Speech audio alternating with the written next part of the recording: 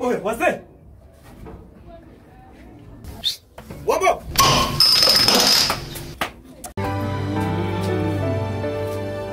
Just a feeling.